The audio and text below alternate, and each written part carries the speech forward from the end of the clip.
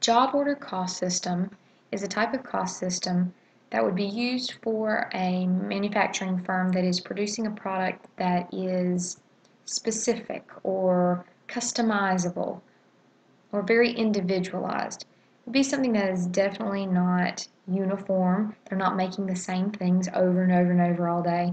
They're making something that is more specialized. So for instance, if you were a print shop, would be an example, and you made, say, graduation invitations or wedding invitations, each order that came in would be a little bit different. They might all be wedding invitations, for instance, but the bride and groom probably are not going to be the same. The date is not going to be the same. The design is not going to be exactly the same. There will be differences between each order that comes in for those invitations. They would probably use a job order cost system to account for the costs of those jobs or orders that they're processing.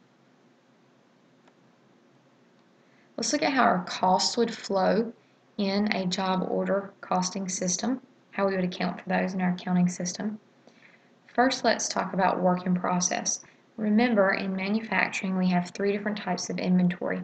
We have raw materials inventory, work in process inventory, and finished goods inventory.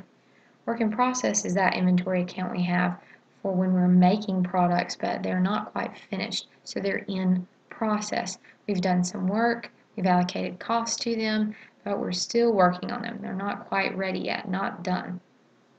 Now, when we talk about work in process, though, we also need to kind of back up for just a minute and talk about materials and labor. Remember our manufacturing costs, there's direct materials, direct labor, and manufacturing overhead. So before you can have something in process, you have to have materials. So you take raw materials, you use labor and manufacturing overhead and convert those raw materials into a finished product. So when you purchase materials, that's when you're going to record something in the raw materials inventory account. You purchase those materials, put them in a materials warehouse, for instance. So you, in the costing side, we would debit raw materials when we purchase and receive that raw materials inventory. When we use the materials is when we're going to take it out of there because again we are using it so you credit that account and you're going to put it into production. You're putting it say on the factory floor you're beginning to work on something. So you take it out of materials inventory and you're going to put that into work in process inventory or debit that account to show that flow of costs from materials to work in process. You'll also do that with labor. As you work on things and you provide labor uh, for that production, you're going to record that labor in the work in process account. So you'll debit work in process for the labor aspect of that too. Our third manufacturing cost is manufacturing overhead. Now we've talked about labor and materials, but remember we also have some pieces of that that might go to manufacturing overhead. For instance, let's say we've taken out some materials and we are using those in production. Some of those are direct materials, but what if some of those were indirect? The direct portion is going to be added or debited to the work in process inventory, not all of it. Let's say we requisition $10,000 of materials, and a materials requisition is a document that would be filled out to show that we are taking materials out of that inventory and putting them into production, how much and what they're being used for, and what specific orders under a job cost system that they are being used for. So when we put that requisition in, um, that's how we can record what we're using, how much to credit out of the inventory, materials inventory account. But let's say that 8,000 of that is direct materials and 2,000 is indirect. The $8,000 is going to be debited to work in process for the direct materials portion, but the $2,000 is going to be debited to manufacturing overhead to show the actual amount of indirect materials that we've used. The same thing goes for labor.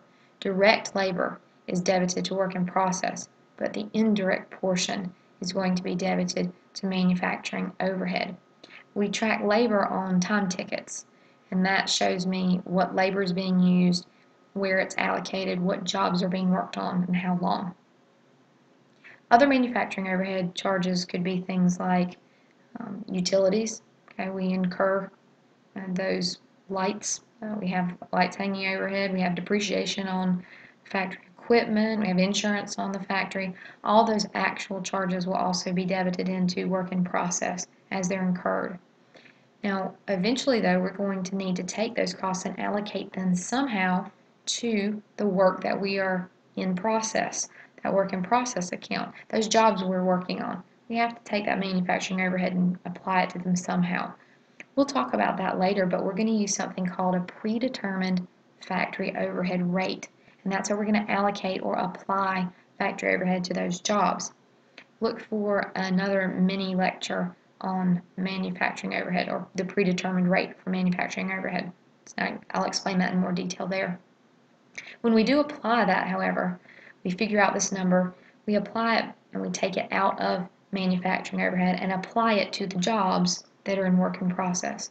So we would credit manufacturing overhead for the part we're applying and debit it or add it into work in process. Now we've allocated or applied those costs also to the jobs that we're working on to show all those things that are the overhead part of the process.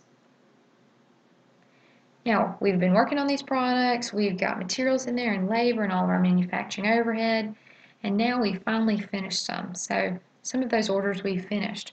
Well, they don't need to stay in work in process anymore because they're done. They're not in process. So we need to move them into the finished goods inventory, the third inventory type. So we're going to credit work in process for the total of all of those costs. Again, the, the direct materials, the direct labor, and all the manufacturing overhead that we've tracked for that order. And how we track this is on a job cost sheet.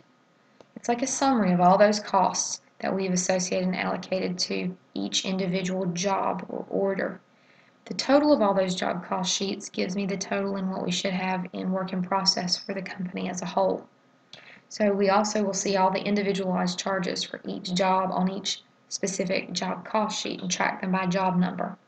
Well, when we get done with one of those and we have all those costs totaled up, we take the total of those costs and credit work in process, and we're going to debit finished goods and move those costs over because now those are finished. We're just waiting to sell them.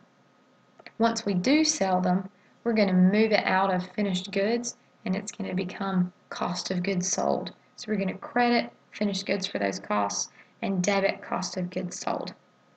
And that's how costs flow through a job order cost system.